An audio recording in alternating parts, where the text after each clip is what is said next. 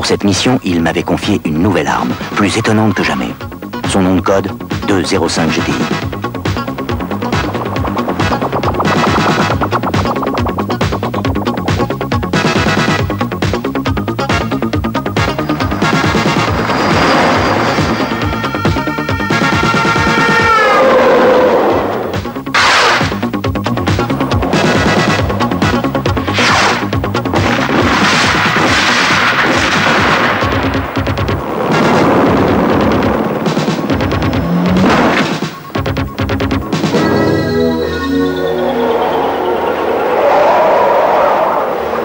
J'avais enfin trouvé la partenaire idéale.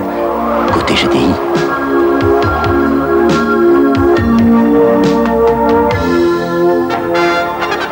Peugeot 205 GTI. Une sacrée GTI.